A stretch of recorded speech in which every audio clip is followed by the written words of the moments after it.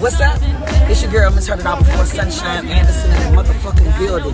We out here in Columbus, Ohio. Listen, run tell that though, okay?